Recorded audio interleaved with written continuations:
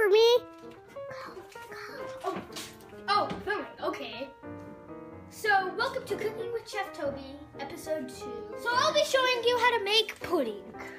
Um, Butterscotch pudding. can I have Yes. some when you're done? Sure. Measuring cup. Ren, will you go fetch the milk? I'll just film myself doing what I'm supposed to do. So, oops.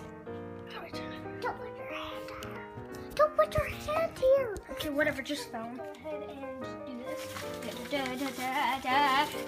so we need two cups of milk to make uh, I see that that thing holds two cups total. That's... No, it's larger than two cups. You just want two cups. Watch the magic.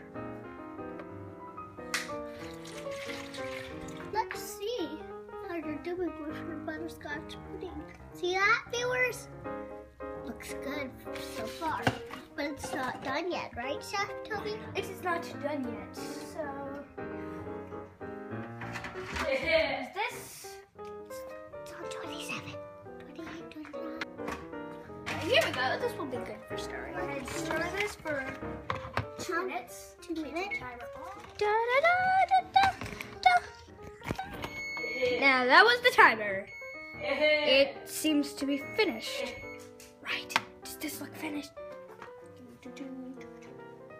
What will the viewers do? Wait. Oh my gosh!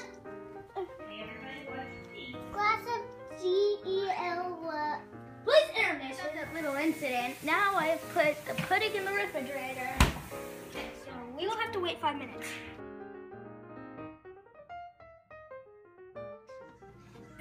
Well, I got the stuff out. It looks pretty good. Can you taste it just in case? I cannot. Um, I'm currently scooping it into bowls. Anyway.